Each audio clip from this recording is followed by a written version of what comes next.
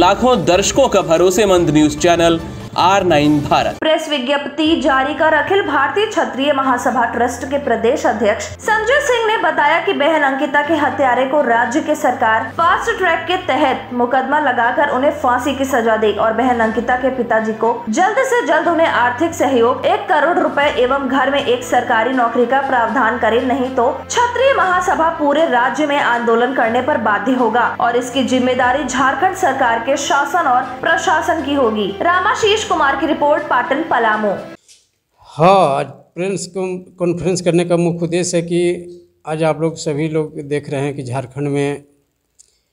बहन अंकिता सिंह का जो पेट्रोल जलाकर शरीर में और आग लगाकर जो आज जलाया गया है, उसको आज बहुत दुर्भाग्य की बात है कि एक घर में सोई हुई व्यक्ति परिवार के बीच में जाकर, खिड़की तोड़कर, शाहरुख नाम का एक छोटू नाम का दो लड़कन जाकर घर में पेट्रोल छिड़क कर उसे जलाने का जो कार्य किया है। आज बहन अंकिता जी के परिवार में जिस तरीक़ा से आज एक शोक व्याप्त है और उस हालात को देखकर आज सभी को दिल में समझिए कि आँसू भरा है और उस शाहरुख के नाम के व्यक्ति के लिए सभी के दिलों में गुस्सा उत्पन्न हुआ है। और इस कारण एक चीज़ और है कि आज कॉन्फ्रेंस करने का मेरा मकसद यही है कि मैं अखिल भारतीय क्षेत्रीय महासभा ट्रस्ट के कार्यकारी प्रदेश अध्यक्ष झारखंड के होने के नाते मैं आज कॉन्फ्रेंस कर रहा हूँ कि बहन अंकिता जी का जो हत्यारे है, उस राज्य सरकार से उस राज्य के महामहिम राज्यपाल से मेरा आग्रह है, अनुरोध है कि आप अपने माध्यम से, कानून व्यवस्था के माध्यम से उस दोनों गुनहगारों को कोर्ट के माध्यम से फास्टैग लगाकर जितना जल्द सुनवाई करने का कार्य करें और उस दोनों व्यक्ति को फांसी का सज़ा मिलना चाहिए।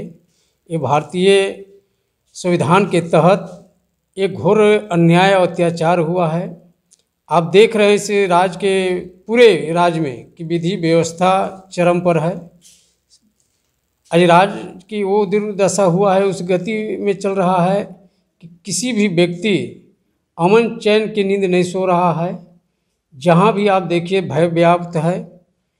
सभी लोग भयभीत हैं कि कब किसके साथ इस तरीक़ा से घटना घट जाए। आज बहन अंकिता जी के साथ वो ऐसा हुआ है। एक और भी चतरा के भी बहन के साथ एसिड छिड़ के वैसे ही किया गया है। आप यहीं पलामू की धरती पर देखिए एक पांडु प्रखंड में, कि दलित, महादलित परिवार से लोग आते हैं, उन सभी लोग मुसर भाइयों को। एक समुदाय के तहत उन लोगों की वर्चस्व इतनी बढ़ गई है, इतनी मनसोब हो गए हैं, कि न उन लोगों ने लोकतंत्र को गरिमा को समझ रहा है, ना नियम को समझ रहा है, ना कानून को समझ रहा है, ना मान्यता को समझ रहा है, ना किसी धर्म को समझ रहा, समय रहा है और उन लोगों ने अपने मनमानी से अपने अत्याचार करना कायम कर रहा है। मुझे तो लगता है अभी झारखंड झारखंड नहीं रहा, हम, मुझे लगता है कि झारखंड को सीरिया बनाने का कार्य किया जा रहा है। इसलिए मेरा महामहिम राज्यपाल महोदय से मेरा आग्रह है कि आप अपने अंतर्गत कानून व्यवस्था को लें और मुझे तो लगता है इस राज्य के जो मुख्यमंत्री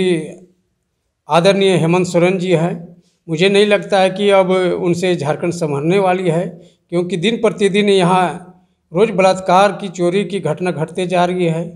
कहीं मान के चलिए कि आप जाने आने लायक नहीं है। जब राज्य की विधि व्यवस्था अगर सही नहीं हो, चाहे अगर आप विकास की बात अगर पर लेके चलते हैं तो विकास भी ठप है।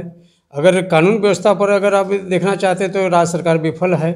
तो किसी भी अंग से, किसी भी माध्यम से हेमंत सोरेन जी का सरकार कार्य नहीं कर पा रही है विफलता अपनी दिखा रही है। इसलिए मेरा आग्रह है कि राज्य के कानून व्यवस्था को दुरुस्त करने के लिए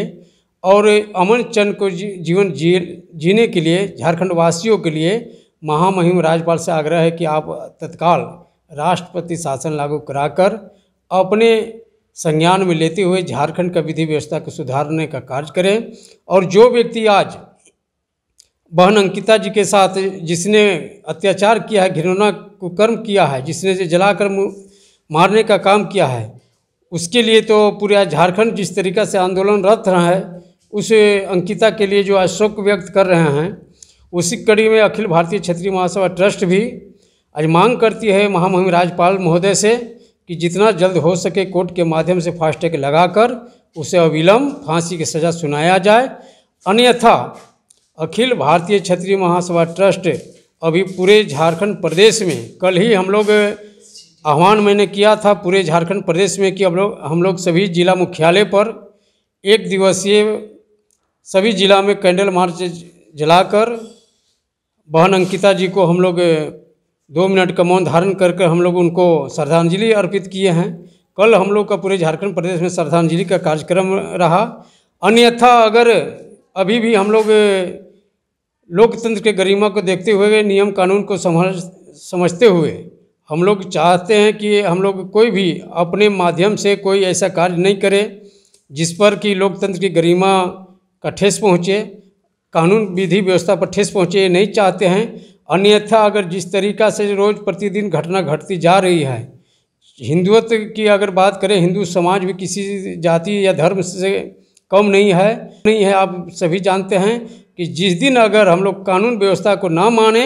ना अपनाते हुए अगर काज करना शुरू किए तो एक शाहरुख यहाँ नहीं पैदा होगा झारखंड के अंदर और उसी तरीका से हम लोग भी अगर करते चले जाए तो आज मुझे लगता है कि झारखंड में ये सीरिया बनने का काज नहीं होगा। लेकिन आज हम लोग जो हिंदू समाज हैं, कि हम लोग सभी को लेकर चलते हैं, सभी धर्म को मान कर चलते हैं, इसी का फ़ायदा दूसरे समुदाय के लोग उठा रहे हैं। सुनने में आया है कि बांग्लादेश का कुछ वीडियो आया उस व्यक्ति के पास, जो कि यानी कि इससे साफ़ ज़ाहिर होता है कि वो आतंकवादी से सांठगांठ उस व्यक्ति का है, वो आतंकवादी है। अगर उस व्यक्ति को अगर झारखंड के अंदर, उस व्यक्ति को मान के चलिए पुनः अगर उसको नहीं फांसी दिया जाता है तो ऐसा ऐसा शाहरुख और पैदा होंगे और ऐसे ऐसे हिंदू भाई के घरों में कितने माँ बहन को जान जाने का नौबत आ जाएगा। इसलिए मेरा